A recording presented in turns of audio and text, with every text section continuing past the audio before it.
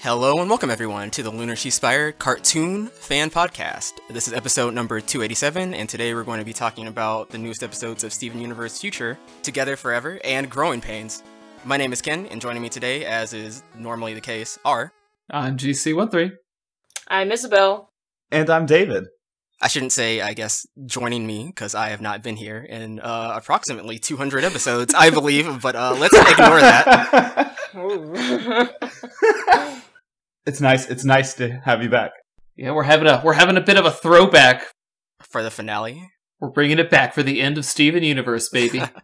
Got to get uh, retrospective and nostalgic. It's appropriate. It's appropriate. These episodes, though, are super, super good. Like, holy. Especially the 1st Mhm. one. So, Together uh, Forever is probably one of my favorite episodes. Like, the first eight minutes are just pure delightfulness. And then it turns really hard, really fast. And it's uh, extremely difficult to watch. yeah, that's that's really Mhm. painful. the the like joyfulness of like Steven preparing to propose was really really great. I love the spring and the step and like man, I will also never not enjoy the way that songs in Steven Universe like build on each other thematically. And I I really Mhm. loved this little moment that Steven had with Connie. And uh I can't remember the name of the person who mixed it, but there was a really great tweet too that um the person who mixed the song sort of what focused on bringing out Steven's sort of maturity in his voice and those like mid and deeper tones. And you really felt that just like ultra sweetness and ultra like Steven just felt really adult in that moment. And yet he was also making a very childish decision at that time. And oh my goodness. Yep. Oh my goodness It's it's really sad, but you know what really jumps out at me about that scene with the song? How they consistently always only do three strings on their guitars, even on the close-ups where they have no excuse. uh, alternate universe alternate rules I know it's the most minor of complaints, but it jumps out at me.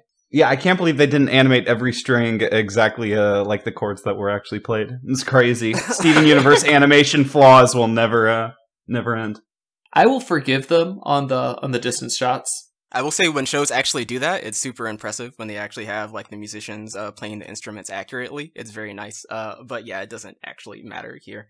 No. I mean, you would think that Steven Universe would be like the show where they do that because of how how many people on the show's high up levels care so much about music. That's fair. I mean, it just takes some money and time, I think, to get it. It's not, uh, I don't know, like there aren't artistic constraints. It's probably just like a financial one more than anything. But Yeah, it's Yeah. just like it's it's easier. I know, I know.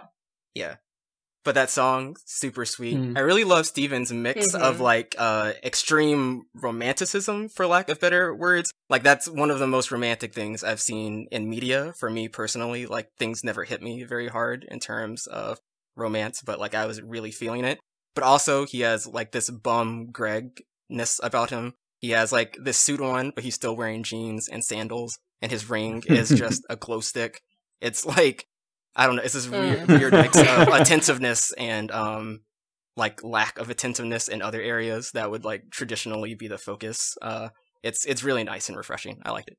Yeah, and also this is it, it kind of hit me that romance, especially in like kids shows, like we've already had the sort of Ruby and Sapphire very Disney esque love story play out in this show, but I feel like I've never seen this specific kind of genuine and like kind of long scene of just expressing loving feelings you don't get that. Like maybe you get the end of Avatar: The Last Airbender, and you get a really sweet hug and, and kiss, or maybe people holding hands in Korra. But like, and maybe you get really awkward teen dating scenarios. But this was just like unadulterated wholesomeness, and also it's never gone so low. I don't think I've ever seen a failed proposal happen, and with a, such an understanding proposee uh, in, in any kids media ever. So ultra impressive. See, that's why it's so hard for me to to watch this because Connie's Connie's sitting there the whole time listening to the song, thinking, "Oh, this is this is so sweet." And then the whole time, Steven's like, "Okay," and then we're gonna propose, and then we're gonna live our lives together as Stevonnie forever. And it's like, ooh, the uh, Mm. They both have very different ideas about what that song means. I will say one like small nitpick for me is it really makes sense from Steven's perspective that he would uh want to propose to Connie and get married to her. I completely understand that. But it does feel a little bit like making him stupid for the sake of the episode to have him specifically ask to be Stevonnie forever. Like that's taking it a little bit too far. It seems like he is definitely smart enough to know that human beings would find that to be a little bit weird, but fair enough.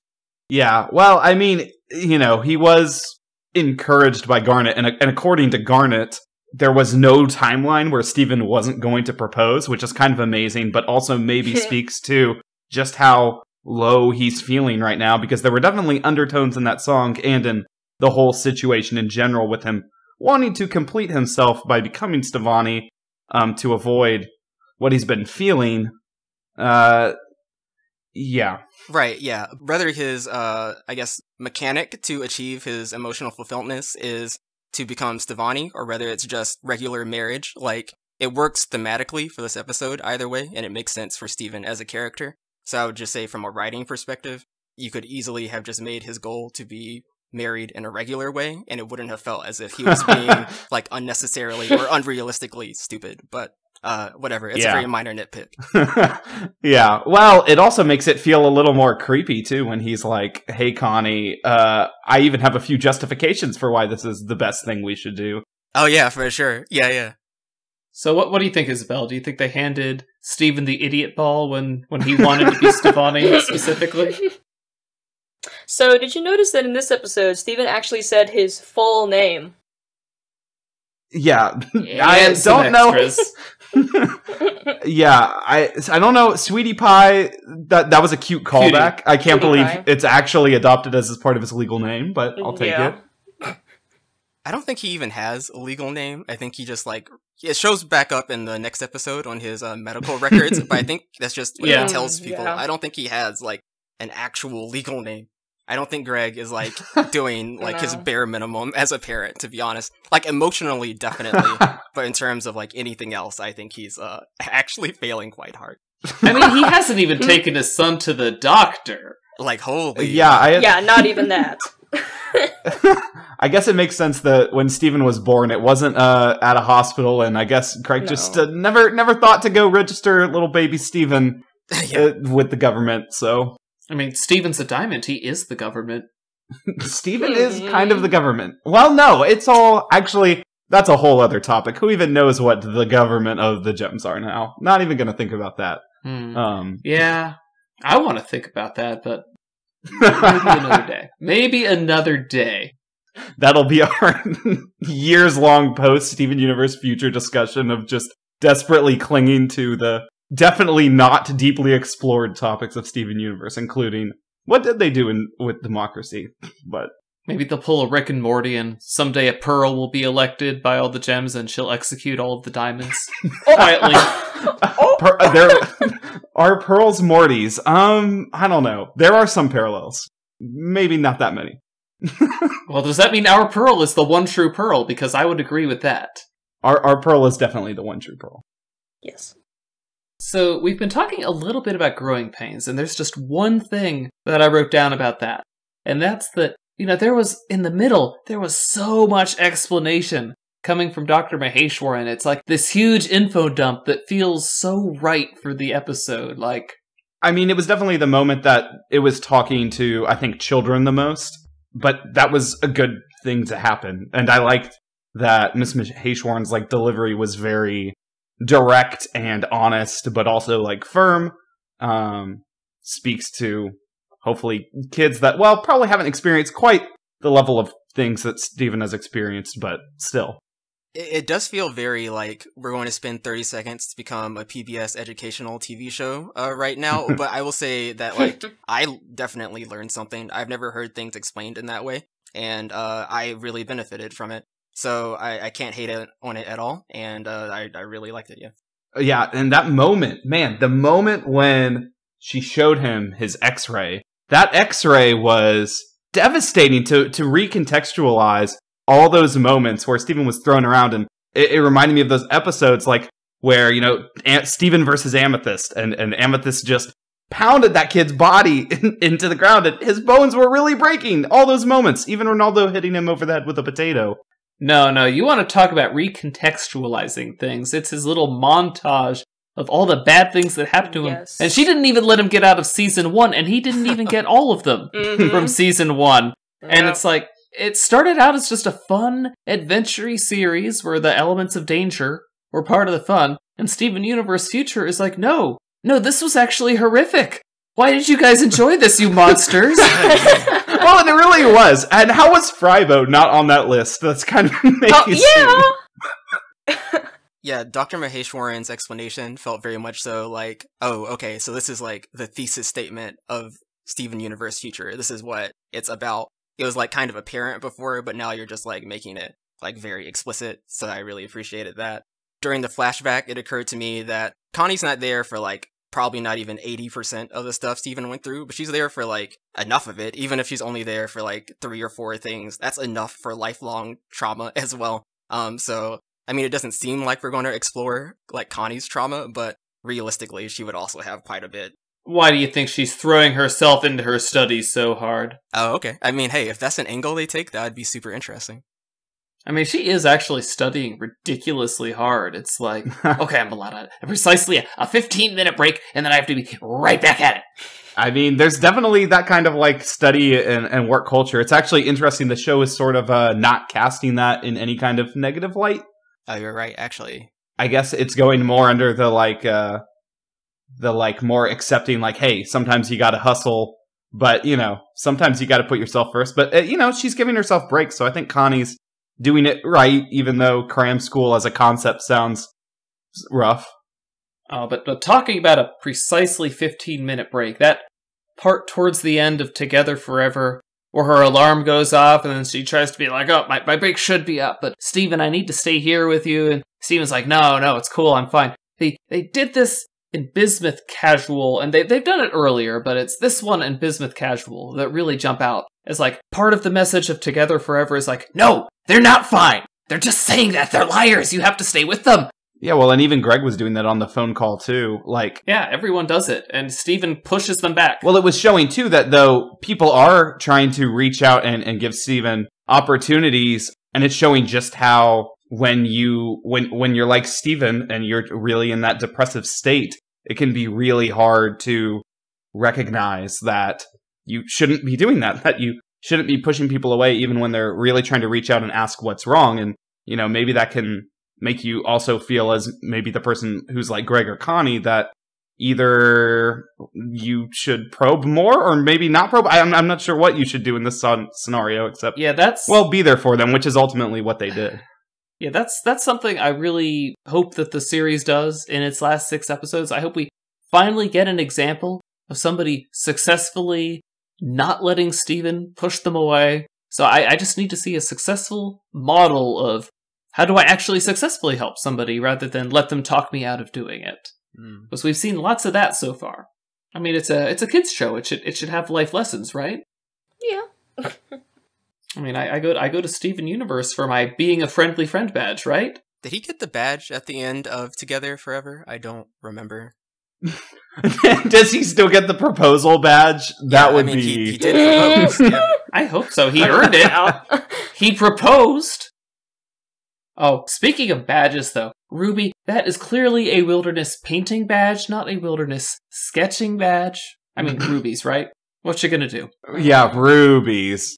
Seriously, Ruby and Sapphire. I still, I mean, they threw in that line that Garnet said, "Oh, you know, there you were only ever going to propose." But from the way it was written, Steven wasn't thinking about proposal until Ruby brought it up. So I no, rubies. he admitted that he had been thinking about it before. That's so adorable, Yes. by the way. One of the most adorable things I've ever seen is him like sheepishly admitting that, oh, well, of course I've been thinking about it. That's so cute.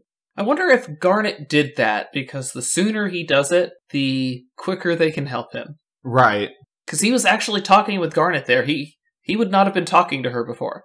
Do Ruby and Sapphire not like know what Garnet knows? Because if she knew that was going to happen, then why did Ruby and Sapphire not know? Hmm. Yeah. Well, and Mm. side note, I can't believe it took this long, but finally, I think finally they've shown us exactly how future vision works. I mean, we've gotten like a million different pieces that sort of build up to the same thing. But I think this view where Sapphire's teaching that class and actually shows the like probabilities that she's multiplying. I think she was making all that up. You think she was making that up for the purpose of the lesson? Just for the ocean wave? Well, to mess Could with be. Steven, she just needs to have a complex equation for the wave to come over, because she knows that the wave's going to come over at a precise time. So I don't think that's exactly how she does it. Sapphire sees the one single future, but stuff like love completely throws her future vision off. Garnet sees probabilities, so she's much better at parsing stuff like that. So Sapphire would not actually be calculating the probability of a proposal. If she understood how love worked, she'd be able to tell you would it work or would it not. She just has no idea how love works, so she couldn't teach a class on love and future vision. That would be Garnet's job. Oh, that's interesting. Okay. I mean, that doesn't necessarily explain why she didn't know what Garnet seemed to know, but it explains why she can't see what well, Garnet yeah. can see. Okay, so back to growing pains. So in when you see Steven's application, I noticed it said his height. He is five foot six. I'm so glad that Steven is confirmed as five foot six and also whatever his height was before makes sense too. But it's just funny because people obviously have so much discourse in the fandom, well, back in the day about everyone's proportions. It's just funny to see that height finally show up. Delmarva is the land of giants. Yeah, for real. yes, every, everyone else is Yeah. like seven feet tall, apparently.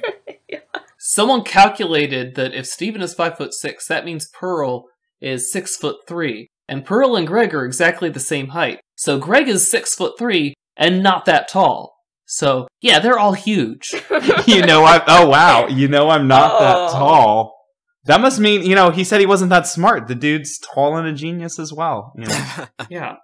also, in like Hmm. the uh, in the image they're using to calculate that height, uh, Pearl was standing in the background, so she'd actually be like at least a little bit taller than that, which no one seems to acknowledge in the thread. But uh, Hmm. Oh, speaking of confirming things, I think last episode Isabel brought up Gems having uh not having skeletons, and that was Yes. confirmed here. yes. We did talk about hard and soft structures of gems, which is still true, but gems definitely don't have skeletons. Uh also, the gems make weird noises. Uncle Grandpa did not hear the same noises that Miss Maheshwaran heard. I thought that would be Mm. hilarious if she had also heard knocking back. That would have been an amazing. No. Um, She doesn't have the same specialized gear that Uncle Grandpa has. Also, don't call her Miss Maheshwaran. She she went to medical school for crying out loud. Sorry, excuse me, Dr. Maheshwaran. And we we also learned from those X-rays that amethyst swallows all food whole. well, we've already seen that, and yeah, we have. entire entire cans of beans. Yeah, it's like eh, why not, right? So uh, so Isabel, I, I got another I got another question for you. Ruby Rider versus Ranger Ruby. Who wins? That's a tough one, isn't it? Yeah. Ruby Ryder, she had a song.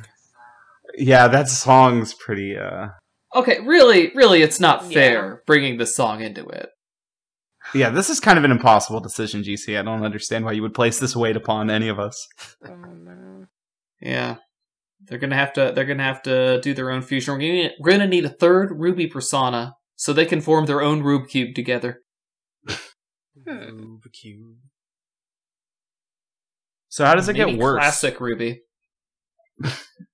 How does it get worse from here? Oh, I hope it doesn't. Ugh. But like Steven corruption, right? Like we've seen the titles now. Mm-hmm. And the leaks. These episodes already tore our boy up enough. Yeah, I don't know how it gets any more devastating personally for Steven than um, being told no for his proposal. Connie, I guess we didn't really talk about that too much, but Connie was extremely gentle with him, uh, with regards to that. Like, if you're going to be rejected, that's the best possible way to handle that. And I'm not exactly sure if Connie's only like 16, where she gets the emotional maturity to be able to handle that situation so ridiculously well, but, uh, It was very good. Well, the first thing she does is she recoils back in horror, which is, I mean, not a good way to react, obviously. But uh, after that, Steven starts to feel a little bit vulnerable. He like covers the ring, which I think is like such an amazing just kind of way to show his uh his like sudden uh vulnerability that he wasn't feeling before because he was very confident and like singing sensually. Yeah. But then like as soon as he That was a great up, detail. Connie moves in for a hug and she hugs him and it's like you can just tell that it doesn't like fix things, but it's exactly what she needed to do to help him the most uh, she possibly could in that moment. I thought that scene was like handled extremely well. Yeah. I, well, and even the way her eyes that they drew them when she said like "not now" and like you, you could see that she had this deep realization of that. You know, I really care for Steven. Steven really cares for me, and it wasn't just total horror and shock. And she really was prioritizing that moment until Steven, you know, put got her to go away online. But uh, yeah, amazing emotional maturity for. Uh, well, I guess she's 14 and a half which also again young young for marriage human human human conventions versus gem gem conventions Uh, are they only 14 right now? I thought they were like 16. i think connie is canonically a year and a half younger than steven from Oh, okay. steven's birthday because Oh, she like a freaks out when she finds out that he's oh it's a quarter yeah because she's like you're 14 she almost drinks her entire apple juice box So if he's 16, she, she's probably about 14 and a half. Depends on how far into 16 he is. Now, people are like, oh, but in Snow Day, because of his August birthday, he would be 17. And it's like, oh, God, this show doesn't work that way, guys. i'm pretty sure several seasons pass during just like season one alone but yeah, they're, they're, they're trying to say that him still being 16 in Growing Pains is a continuity error. And it's like, uh, no, it's a continuity apathy kind of thing. He is 16. He was 16 in the Snow Day. He was 16 in Growing Pains. Accept it. The seasons move oddly in Steven Universe. I mean, who's to say it wasn't a magical snowstorm? They do have obsidian running around there. Snowflake obsidian. Not lava obsidian. Yeah Snowflake and Larimar got a little bit excited about their uh, ice shavings one day. And boom, continuity restored, baby. So on Steven's medical chart, I guess we're like jumping around a bit now because we kind of hit on this earlier. But just some other details. Uh, I like that his address was the beach. I don't know. Yeah, confirmed. But- and jamie is a brilliant mailman for To being able out. to get there every time Yeah. I guess it's the only residence on the beach. Also amazing that like no one else in Beach City wants to live on the beach. Seems like it would be prime real estate, but whatever. But it's not free real estate. Well, it's constantly being hit by gem debris, so. Yeah, I mean fair. His uh employment or whatever phrase they use was like retired and he used to be Earth Mm. ambassador was uh, another good detail I thought. Also when she was writing down the uh his height on the chart, Dr. Maheshwaran uh Steven would like look over and peek at what he she was writing, uh, and then he'd get uh, stressed out, and his body would grow to make him a little bit taller. I thought that was a nice detail. Well, he would rather be tall. Yeah, I'm, I'm not sure why distance matters to Steven. He seems very concerned about Connie moving away, but it's not clear why he cares since he has Yeah. a magical teleporting lion. They have the ability to manufacture warp pads, so he wouldn't even need Lion. For sure. I mean, it's representative of like the, the emotional distance that could potentially form between them, but Yeah. it's not said that way. It's not a complaint. It's just me being nitpicky, whatever. Um, and the first time I watched that, I'm like, oh, because it's not like you have Lion or anything, Steven. I wasn't even thinking about the warp pads until just now, but. Yeah. oh well. Oh well. I mean, again, it, it is emotionally him afraid of Connie moving on without him. That's terrifying him right now. And what's terrifying me is uh, staring at the, the last six episode names here. I am uh, eagerly anticipating Mr. Universe here, which I uh, avoided leaks for so long, but I think this is the last leaked thing that people truly Yep. have an idea of what's going to go on. And then hmm everything from there on is uh uh well, it's spooky and episode 18 is titled everything's fine and i know for a fact that that's a lie so Oh. Here we go. Here there be Oh, no. monsters. Looking forward to some end of Evangelion type stuff happening here. It's going to be fun, going to be excellent. Have like Oh, episodes boy. leaked? I'm not paying attention to things. no. Okay. There was an audio leak. Oh, okay. Yeah. but not too much. It wouldn't be the end of Steven Universe without at least some leaking, all to the very end. Fair. But anyway, guys, that's been us on Together Forever and Growing Pains. Join us next week for Mr. Universe and Fragments. It sounds terrifying. Until then, though, I'm GC13. I'm Ken. I'm Isabel. And I'm David. Leave Uh, don't forget to leave us a review. Oh yes, no, I got it. This is my No, territory. Ken, you got it. The king is back. Later, everybody.